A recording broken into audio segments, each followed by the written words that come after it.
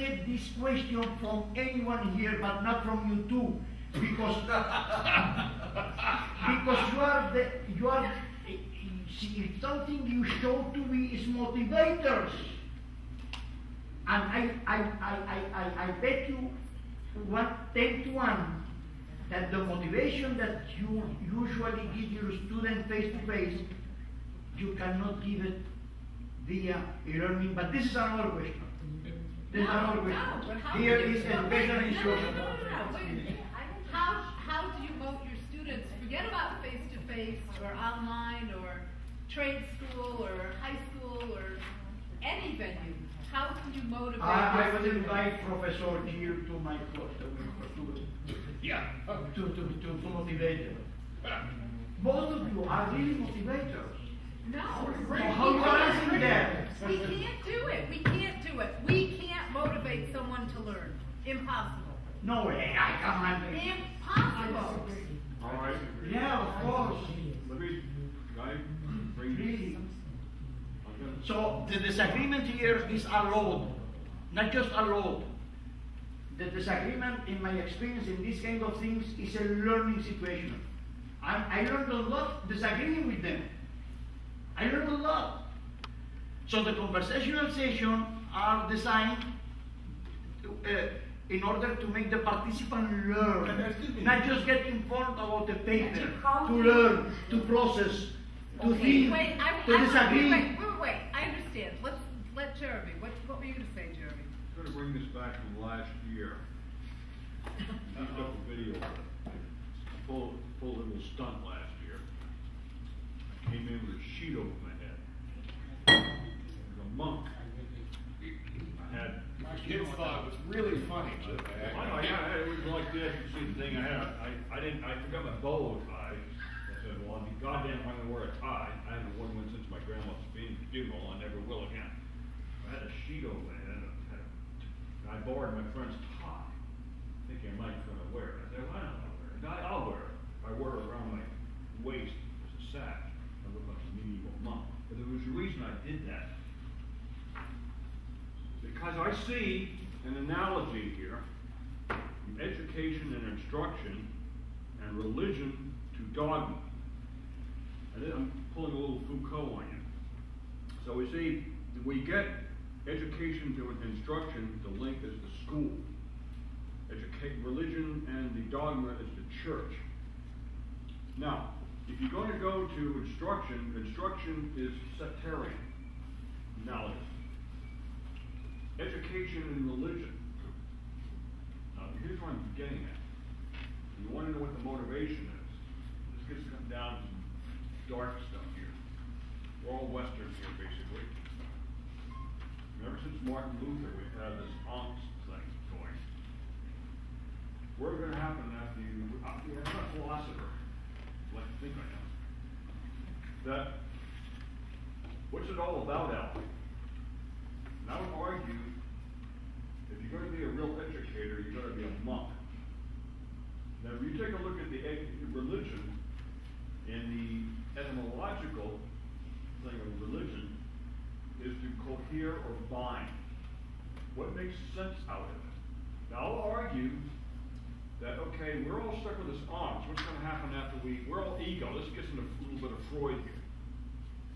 What happens after we go on? We so we we kind of sort of like Buddhist stuff actually because it gets you out of a lot of this crap. So what's going to happen after we die? What- What's going to what's it all about now? And I would argue that education and the religion in that Latin sense, what's it all about? Cohere and binding. That's what the a motivation is. Now we also we're also uh, taken aback by all these things in our world, know, the Facebook and the ego and crap like that. But you dig, up- you, you dig, you pull away, pull away the covers, get down to the very bottom of it, and get to the core. That's where I'm, that's where I'm going with this thing. The core is basically what drives religion and education. The same thing. I argue that they're the same thing. Religion and education are the same thing. And philosophy, see, and all those themes. well, there's that philosophy again. Yeah, I, I, I, yeah. Okay, let's put it in other, in other terms. That- That's where, that's What where we I'm need, with in my opinion, what we need, it's just an opinion, okay? the medieval trivium, which was known to almost anyone in the Middle Ages, and this is the origin of the word trivial, okay? Got three things, okay? Uh, grammar, I need to talk correctly, which I cannot do in English, okay? So when they do it, it's not for you. uh, uh, uh, di- dialogic, which means the ability to have dialogues, okay? And rhetoric in the in the in the positive sense of rhetoric. In its positive sense, got three things. Ethos. I cannot imagine education with no ethos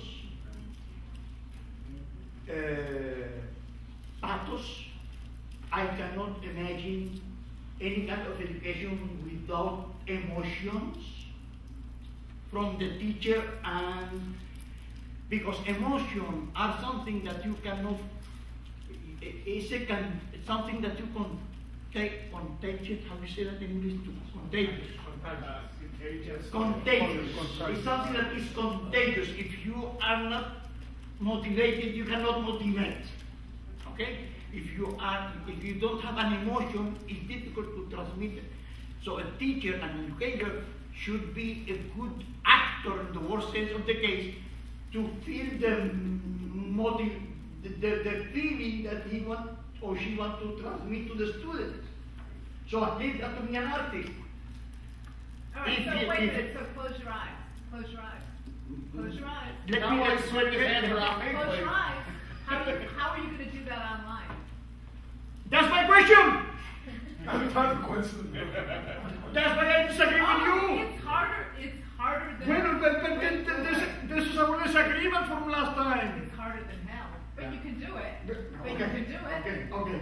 But I what you don't see can't how. do, but wait a minute, what you can't. This is our do- disagreement. But what you can't you cannot motivate students unless it comes from them. You can't control. what they're Motivation and emotion is something that you uh, is contagious. You can. I don't see how you can I think- uh, make think we can be- do it. see contagious via via e-learning. I don't see it. Why, why don't we let some other people then? I see some Okay. hands over here. Why don't you do it? Yeah, yeah, Let me finish the third thing. Oh, you- you're not finished? The third thing, I mean three, and one of them is three. The third one is rhetoric, to speak effectively. So why hell you wanna talk is, is if you are not effective communicating what you are talking about?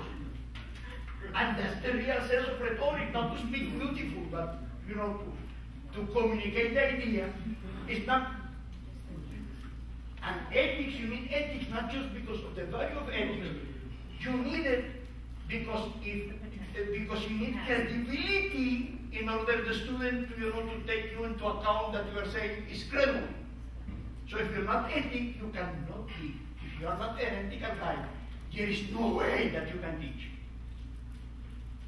Because you need credibility, and that's called ethics. You know, So this is the, the, the sixth thing that you The, need. the most credible people in the world are con men, unfortunately. So, so that's, and that's one of the big, one of the big problems. But why would let some other people come in and, and, and, and Tim and then you, then you, then you. Conman. The I would The have say that the, uh, Yeah. you know, it comes down, and I don't disagree, I think that you you have to be, you have to be emotional about it, you have to be credible when you're teaching. You have to, you know, those things have to be perceived, there has to be passion in what you're doing too, right? You have to have passion with you. But the thing is, it all comes down to the student, whether they're distance education, or face-to-face, or in the hallway here when we talk, is to answer the question, so what? So what? Why are you here? Why are you spending the money to attend this course? Why are you taking three years out of your life to sit in this program? Why are you getting a doctorate for six years of your life? Why do you do this? And if they can't answer that, then they are not motivated to be part of Wait it. They have an wait, wait, individual wait, motivation. So why are you here? Why? Are you here? majority wait, wait, in that sense. Healthcare, healthcare, business degree, all the experience in the world. Why are you bothering to pursue a doctorate now? That's a great question because the idea is I've spent most of my life in business, okay? Right. And so now my passion would be to be able to take that and do those things and say, listen, I have been mentored, I have been taught, I've been beat up by industry, I've made money, lots of money, I've lost money, I've done things. Now I must teach because it is my it's my calling, and that's why I'm here. And At where, wait, where does that motivation come from? But because it- Does he deliver it? well, he's good though. He's pretty good. All right, as much as we But go. the I'm a, reality I'm a smooth talking devil. But what I was doing before I met Dr. So you- Bill, I am I was already saying that. seeking it. I was looking for that because I was at that Wait, wait, point, wait, so it came from you, the student? It has to come from somewhere. I No, think it uh, has uh, uh, uh, uh, uh, yes and no. Yeah. When you see a movie, a terror movie very well done, you are panicked that the movie is producing the new death. Okay? All right, that's a little emotion. That's what he does when he speaks. He terrorizes them? Only on my best days. Let's get a few more inputs into this. Oh, another thing that they forgot, the logos. The logos. You cannot, I mean, uh, uh, people from the professional careers and science, you cannot just teach the technical logos. You need to teach the usual logos in the world. You have to teach the informal logic. You cannot just teach just the technical logos. This is part of your, what you are doing. So what you are doing in technical terms, you have to see how you can relate it to non-technical terms. If not, it's not education, it's instruction. Well, David had his hand up just very brief, and then we'll come back over here. Get everybody involved. All right, so I, I was responding to the, uh, the comment about passion. And, and I think what's implicit in that is uh, a passion for knowledge. But I think that's misguided. And really what we should be trying to instill in our students is a passion for disorientation, followed by reorientation and successive cycles of that because that's what a creative life is. That's what that's you navigating your circumstances. It's the Ortega, I am I in my circumstance. And and instead, what we do is the students are set up, they're craving knowledge, and instead, if, if we can show them need, that they need to understand this better, but the process is one of disorientation, reorientation, not this passive, here, I'll hand over to you Right. the facts. And so that's, that's an attitude that we need to instill in students, and I'm gonna talk about that tomorrow. Here's a specific example of that at the beginning. So you imagine these students starting their program, and the first question we ask is, uh, how many people in the room are in sales? Okay, and so these are doctors, pharmacists, dentists, you know, and then how many hands go up? None. None. And I'm saying, okay, what about you, uh, ER doctor? What do you sell? He goes, well, I don't sell anything. I'm an ER doctor. I go, you sell emergency room services to people who pay. What about you, pharmacist? And the pharmacist, well, I don't do that. I, I, I do drugs and things like that. I go, no, you sell drugs and candy bars. That's what you do. They get mad at me when I say candy bars. But, that's what they do. So, the, that's what you're saying. So what you had to do at the beginning is we shake them up and say, listen, you're not who you think you are, really. And that everybody's in sales. And then they snap through. Plus, we tell them that they have no chance of passing the program if they ever answer that question that they don't not in sales. Every hand goes up because every every course start, starts that way. Who's in sales? Every hand better go up. Done. Your, your hand up, bro. You, and when, and when you put you on the spot, I wonder I've been what inventorying it. speaking about. I think that we see here a generational divide between between the baby boomer generation and generation X. I think yes, there is a generational divide, but we must take into consideration that we are working with generation Y and Z. Right? Yes, our students are. And it's out of control, and the expectation's out of control. Part of the education is to try to see how they can control themselves. Either Well, that or set no, but our job is to educate them across the board. Across the board. Genius, actually. That's the issue, is trying to educate them across the board, and again, close your eyes, You're, welcome to my world. When you have people online, oh my goodness, there are people, I don't know if they're boys or girls. You know, I'm telling you, I don't care how old they are, but there's something unnerving when you can't tell by a name whether the person is a male or a female. It's unnerving. I'm sorry, it's I just talking about the unnerving. debate between the, But, but, So, so taking some constant feedback from your uh, students, like, won't it help you get a little bit more, uh, like a better picture of what- constant feedback? Yeah. yeah. You're lucky if you get feedback at the end of the term. It's online. They don't have to do it. It's not part of the grade. The, the return. That if you are, Discussion board, that if you are discussion teaching board. face to face, you are getting continuous feedback with the eyes That's of the people. That's right. That's right. With, with the, But- with, with the corporal, you know, uh, uh, uh, uh, expression. Of course, of course. Continuous feedback. And online, you're not getting it. I mean, if you're teaching face to face, and you look in the room, and you see a bunch of blank expressions after you just went over how to solve something in Excel or whatever it is, you know you need to step back a few steps and, and help walk them through it and break it down a little bit more. But online, you, you really, you never know where you stand. I can, I can assure you that most professors are incredibly good at ignoring or misinterpreting the feedback in an on, in a face-to-face class. We think we're good, but we're terrible at it. Hey, we had a hand up over here. Uh, did, did either of you want to say anything? Oh, uh, you see, in my own thinking, uh, when you want to view education and instruction, you come back to every environment, the way they perceive education. And that is why the olden days definition will say transmission of culture, knowledge, ideas, understand from one generation to another. What she was, he was talking about them. So I want us to look at this issue of instruction, education.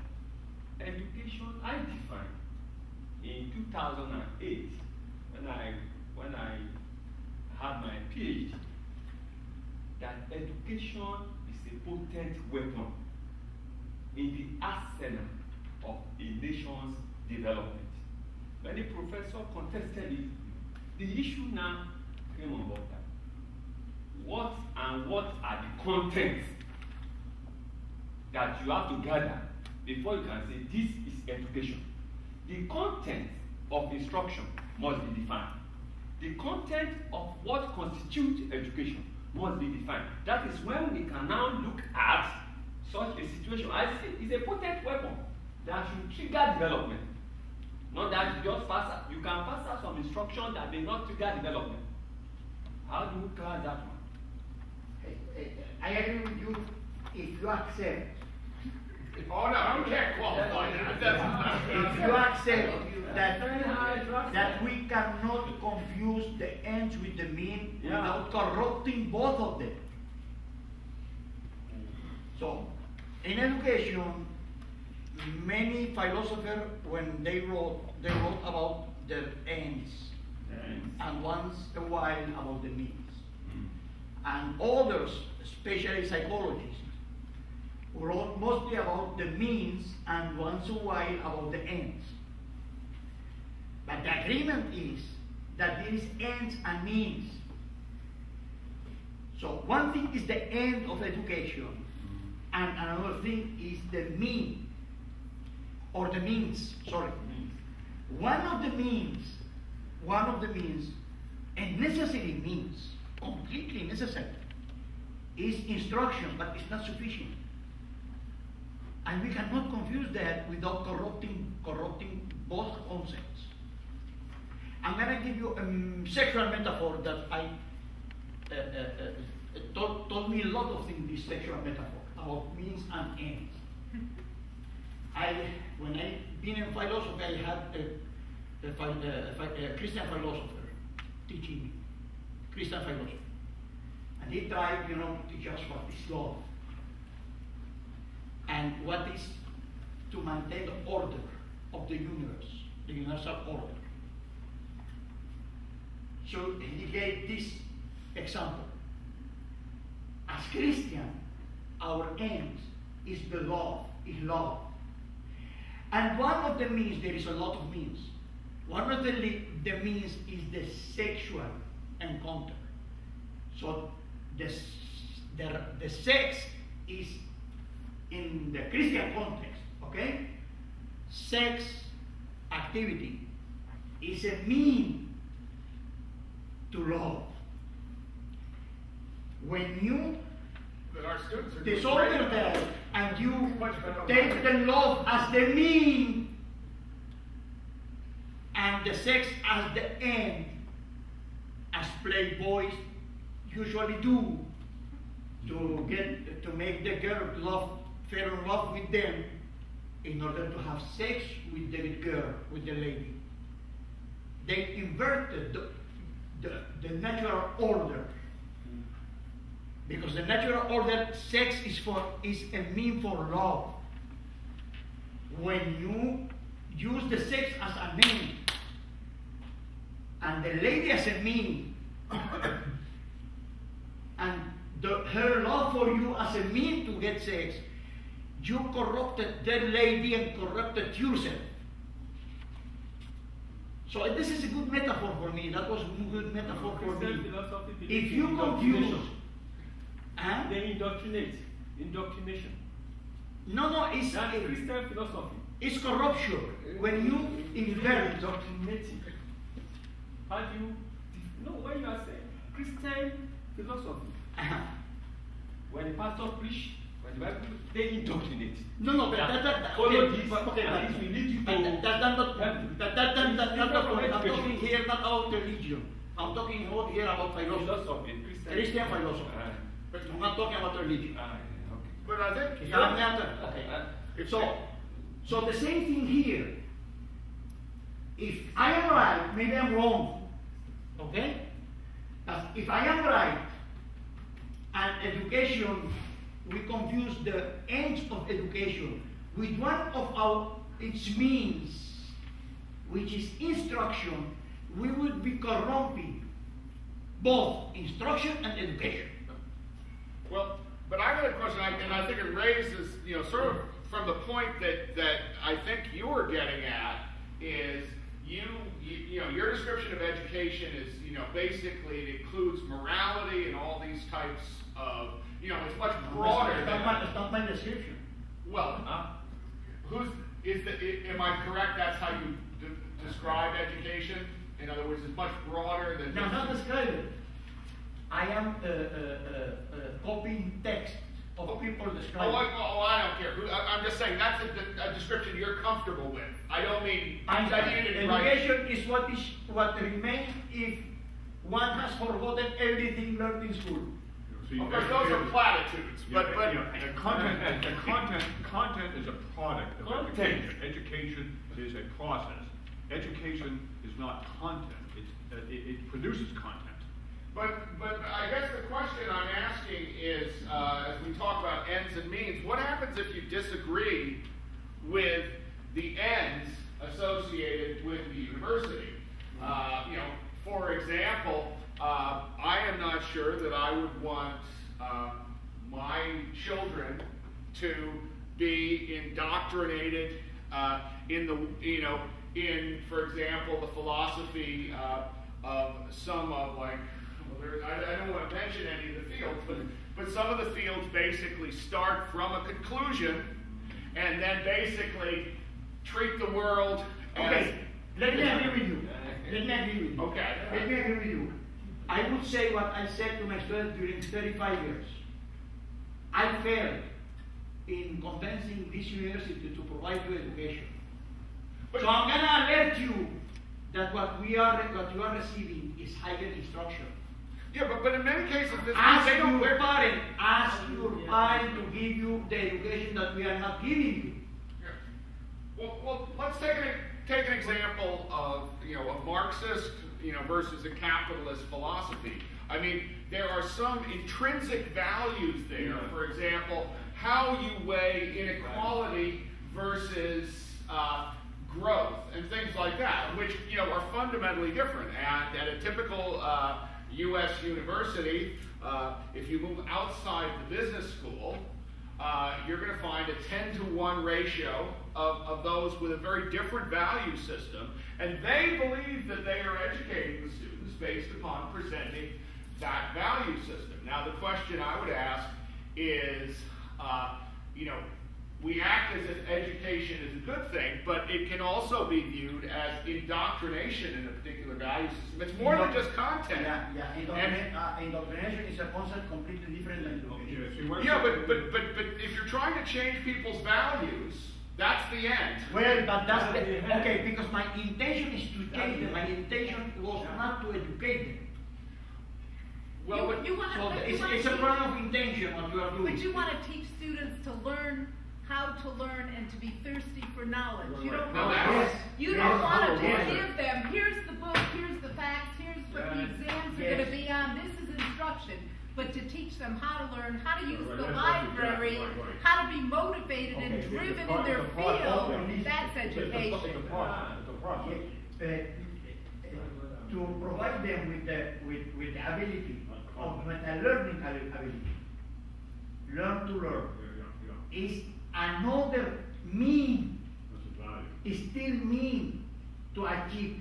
It's an important and necessary mean that you teach them how to learn by themselves, how to learn, uh, uh, to learn how to learn. This is another mean, a necessary mean, and you, that you cannot But, reduce but the, with, the, the, but the, with the, ends to the instruction, but with You instruction, cannot confuse them. With instruction, you're not necessarily teaching them how to learn. You're not teaching them how to be motivated about learning. You're not The- the- necessarily teaching way, them about only critical way, thinking. The only way that I can see how you, uh, uh, uh, uh, uh, uh, a student can learn how to learn is by being motivated to learn. Okay. Oh, I'm sorry. And this is not just, this is not just instruction. I understand. Tim is revved up and motivated to earn that doctoral degree beyond belief. He wants that degree more than anything. He's living, sleeping, breathing, eating, um, getting ready for the dissertation process, upcoming, or completing his courses. He couldn't be more motivated.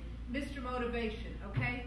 My students, doesn't matter, face to face, online. No, it, it doesn't matter. No, no, it doesn't matter. It doesn't matter. I have some students who are fantastic online who are going above and beyond, doing extraordinary work that I don't know where it comes from. It's extraordinary online. I could show you in a minute. I could log in. Yes, I, I could, know. I'm talking about could the show you. Uh, but, but still, in the face-to-face classroom, guess what? There's an awful lot who are average. And there are, That there are was, few that was our disagreement last time. And But- it's, it's the same thing. That, mo- that motivation, that motivation, they they have it in the gut. Either it's in the gut or it's not in, In the all gut. these drafts, you're not gonna find not once the word e-learning. I'm avoiding that. Okay, okay, but. But I would like at least to separate the concept of education from instruction as mean but wait, ends. But wait a minute, that motivation is, is from the gut, it's from the gut. We, we can do a little dog and pony show and try and get them excited and wrapped up in projects and things. Let me, uh, even so I agree with you, but Okay. let me now be a little bit, one example to be against. In the first uh, year in college, Yeah. my son Yeah, just had to take math mathematical course. okay, And he is not an, an engineer, he was not going to be an engineer or scientist or anything. like that. Okay. And all in his class were this kind of people who didn't know what they're going to do with their life. alright. Nevertheless, there their mathematical class, they always, all of them, or at least my son, I, I didn't ask all of them, my son remembers that was the most interesting class in his life. He became you know, a journalist, an editor, in absolutely non-scientific field. But he remembers this, uh, by the way, he skipped one class, or failed one class about movies. He had to tell what he likes, what he didn't like. It was so boring he didn't take class. But this mathematical class, he said it was the most, and by the way, I know the professor.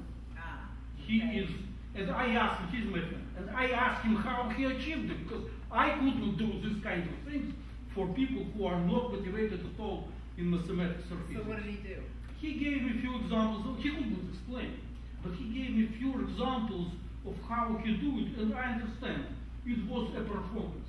A performance. It is- So, I know this example contradicts what you say, Okay, contradict what I know how to do. I couldn't understand how to repeat what he told me, But I have seen that in, in this example it works. I mean, the best professor of mathematics that they had was someone writing. Look at that. How wonderful. How beautiful. Can you see that? How beautiful. And all of us, he talking about? that he kept doing that once and again and again, and he was so ecstatic about what he was doing, you know. So I got our attention just to see what he's talking about. And he was feeling the state of mathematics. And you can see it in his face, in his body expression. Eh, Look at that, look at that, look at that, and all of us look well. But you went for the show. But if you, but But if you, at, at least we attended. You went for the show. but We tried to see what we see. Did you ever see That it? we are not seeing. Wait, did you ever see it? Not me, but other people see it. So, but, but you know, the thing is that's, you know, and, and if, if the argument is having passionate faculty is, is, you know, is better than, than having uh, faculty like Ben Stein and Ferris Bueller's day off, basically listen, lecturing facelessly, I don't think there's gonna be much debate, but you know, part of what you do as a faculty member is you create a venue for instruction. And in online learning, the Wait, nature. wait, wait. Do you create a venue for instruction or a venue for education? Well, a venue for whatever we're calling it, because I don't necessarily No, see they- such a big difference. any Uh, instruction is education, but not any education is instruction. yeah. Because Mean and end. the reason, well, the reason I say, for example, learning multiplication tables, that does not sound very, you know, that's not a terribly interesting thing. But if you actually want to learn higher mathematics, unless you have those multiplication tables by rote, every time you see an equation, you are going to have to use more chunks of your memory to handle the multiplication part, and as a consequence, you're not going to be able to solve the equation. Sometimes you need to practice things over and over again to move up to the next level, and that may require what's called instruction. And that's just the way the mind is wired. I, I got to be careful saying that about Luke near the end because he, he actually knows how the mind wired. But uh, the reason I, the reason I ask is, for example, uh, Charles. Uh, uh, no, but Charles isn't here, so I can't point at him. I, I had an example. Uh, Charles Aram took my online uh, learning course, which was a case discussion course. Every week they discussed cases, and every week they conducted an online debate and then had a discussion on that online debate. Now, during that entire course, I was not synchronously online with them once. Uh, what I did the first couple of weeks of that course, though, is I went through their discussion participation, and I did not participate in discussion for each person. I created a minute and a half video just commenting on their individual participation in the discussion. I only did that for the first couple of weeks because after that they really got it. Uh, for the rest of the course, the only thing that I did was grade their discussions, and I always graded each individual participation so that they knew that I was paying attention. If I gave them anything less than a good grade, I would always comment on it so they understood what I didn't like about it. Now, in that particular course, uh, I, I, you know, the, the course evaluations were straight fives out of which is the highest grade across the board. People went to the department chair saying this is one of the best courses that they ever had. But the irony is, I had no interaction with the students at all. When Charles came, sent me an email saying he wanted to talk to me, I figured he was upset about the course because I had no idea whether they were liking or not. It actually turned out he wanted to join the DBA program. What I'm saying is that was creating a venue in which students could interact, and that turned out to be pretty effective for that particular type of course. Not everybody would have liked it, but I think we need to be very careful when we generalize about these things because everything is, uh, to quote David, a view formed under special circumstances, which I think is one of the great lines. Uh, and so, you know, basically there are many, many different ways to, uh, to skin a cat, if one is inclined to skin cats, but the point is that you know, sometimes what we need to do is provide our students a portfolio so you don't end up constantly hitting people with something they don't like. Or sometimes you get specialized institutions that only attracts people who like a particular approach. For example, when I went to Harvard Business School, we did 900 case discussions and nothing else during the MBA class. I mean, we probably had 10 classes where there were actual lectures and 900 case discussions. Well, if you didn't like case discussions, you wouldn't go there. But if you did like case discussions, it was an incredible experience. And whenever you look at an educational context, what you need to remember is there are really four things that are interacting. There is the content that you're trying to convey. There is the medium that you're using. There are the characteristics of the instructor. medium. You just said it, the medium. The medium, right, which could be a classroom, it could be online, it could be online. agreement with you. And, and there's the nature of the complete students. agreement with you. And the point is, all four of those things interact, and you can create great experiences. You know, you, You've I got am other things going corroborating what you are saying. That the medium could be anything. Could be online, It- could right. be outside there, Yeah, could that's be in the classroom, But- but it be could at be- bus stop, could be at the airport. So, But- but- I'm But just no, you're corroborating you. Yeah. I'm corroborating you that Yeah. it could it could be any medium. And the danger is when you take things, when, when you take an interaction that's going well between the four things, and then you move three of them over, but you know, for example, you take what you were doing in a face-to-face class and move it online unchanged. That almost never works well. Uh, if you take something that works really well with one type of content and move it over to another type of content. When I teach programming, I teach it in an entirely different way than I would teach my capstone courses in business. Now, I've done both face to face and online, and the courses could not be more different. Uh, and so, essentially, you know, what I'm saying is that uh, you know, first off, there's the question of what is education versus what is on instruction, because cognitively, I think it's a lot harder. I think a lot of times what you call education is an emergent process. Let me, let me go to an extreme. Okay. a hyperbole, okay? With that fabulous course that you gave, everyone was happy with it. Why you didn't give them, uh, didn't give them the certificate of graduation? Why didn't I? Because I'm not authorized to give them certificates of If you were authorized, you wouldn't do it. For that one particular class? You see what I mean? This is a meme. This is one of the good meme, but it's not the complete education. It's not the complete You need more program. courses, at least. So, all what I'm trying So to say is to, to differentiate between means and ends, to differentiate them. You're not me. You see what I mean? So this is why I went to an extreme. Nagib, are you saying then a degree equates with education? I'm not saying that. No. No, I'm not saying that. It's not I never Well, you're that. saying that a course? No, no, no, no, You're no, saying no, a course doesn't necessarily No, no, equate I, I found more education in people that would, would not know how to read. That I- in, I ma- would- I that in many, yeah, that's in right. many PhDs. That What level of course was the one that you were talking Um, about? Undergraduate, graduate, um, Well, this particular course was a master's course. However, I actually used the same format with an undergraduate course, uh, both capstone courses at the end of the program, using, you know, with very similar results. Uh, you know, which I, which always surprised me because I always expected that I would need to interact with them a lot more. But actually, you know, I, I, I look at the discussions occasionally just to make sure they're not going off track, but, but, but the students do a much better job. They produce like fifty pages of text every week.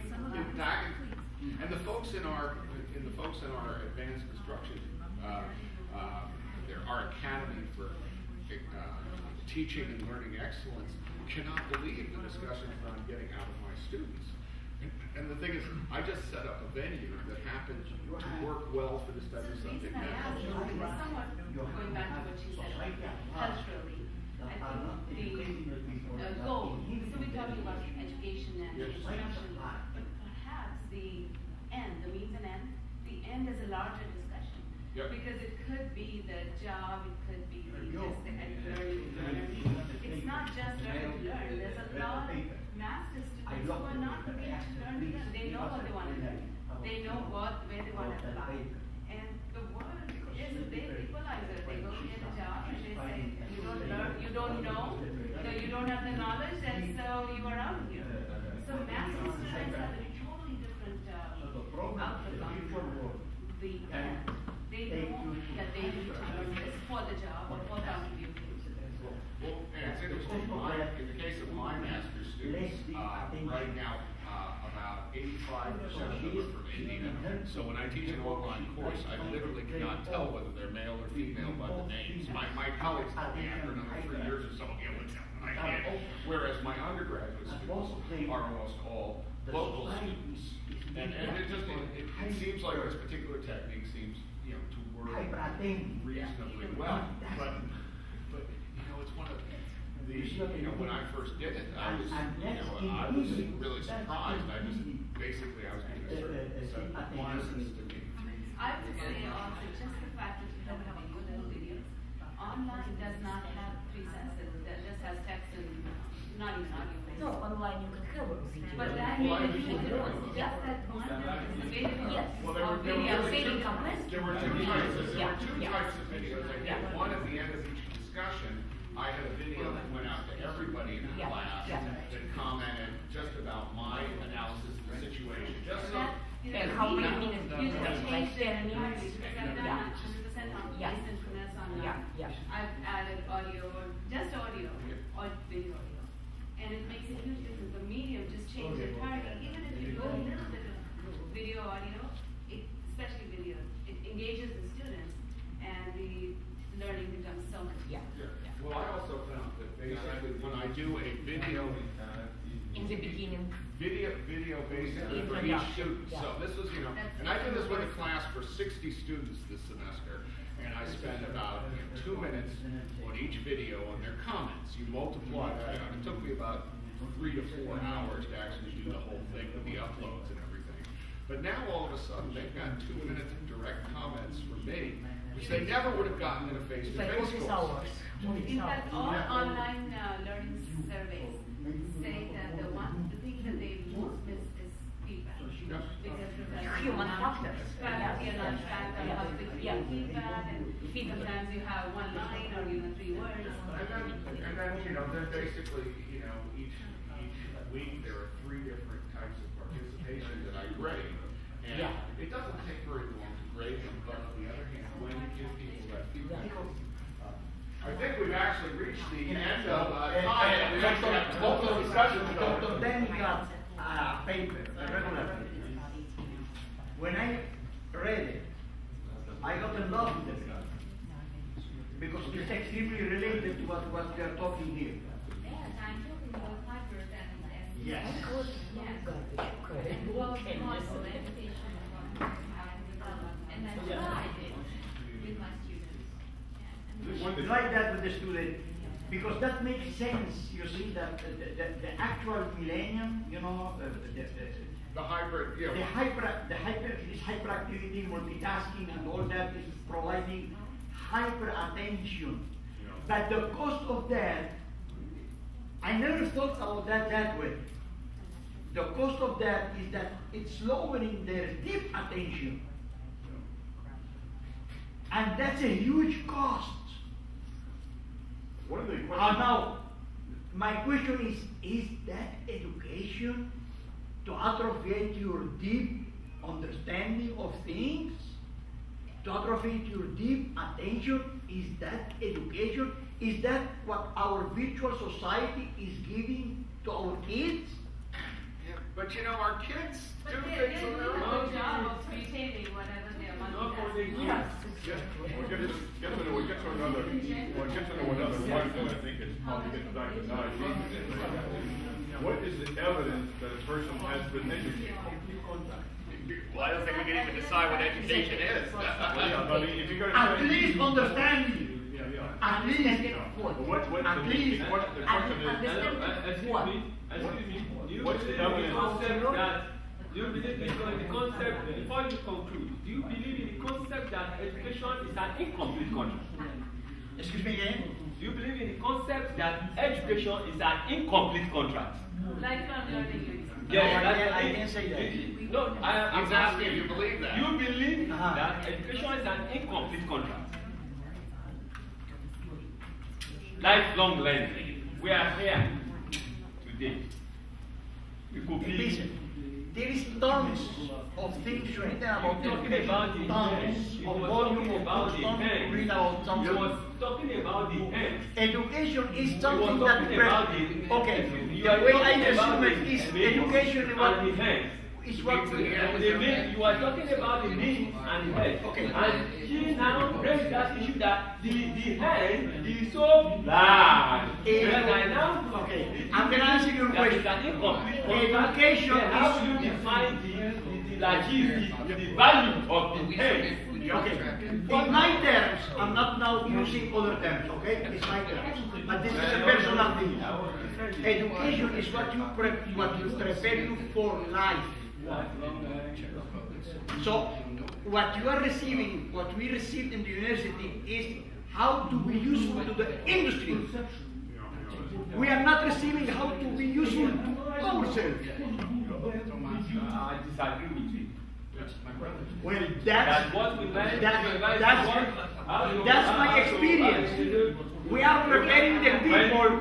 a degree, it is not only, it is not only the academic, mo- uh, morally, you are morally fit, you are socially adjustable. Is that not for No, ourselves? no, I'm telling you that with few words.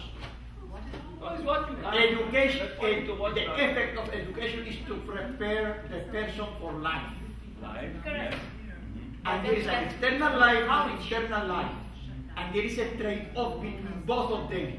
You cannot prepare the person for the external richness, atrophying his capacity of internal wealth. You see what I mean? where does the hand- You have to have a trade-off. You cannot, you know, push him to be just useful to the industry. So this, this You have to prepare him to be useful to Yeah, but- himself. But this gets back, this gets back to the business, this gets back to the business of being a monk. Now, the monk basically is preparing for two things. One, the internal light as well as the external life. And that's why I use that, that's why I went back to that comparison, that's what I did that last year. That in order to be really, I hate to use devoted to education, you pretty much have to be that monk. And this gets into, it's more than an attitude and motivation, but it gets into, now, he, he, we I'm not sure if we have the language to, to say this, but the developing, what is it all about out? It's not simply satisfying the techne. Yeah, you have to have the techne to produce all this crap in order to live in this real world. But basically, it's preparing oneself. And not only preparing oneself, but education is about nothing. It's, it's not, it, it, I'm not sure if, see, education produces the content. Education is not content. It's preparing a content, but of a special type of content. Not the content about how to construct this. See, this, this is based on education, because education produces the techne, which produces this. But the education is a process. It basically is, again, back to the monk.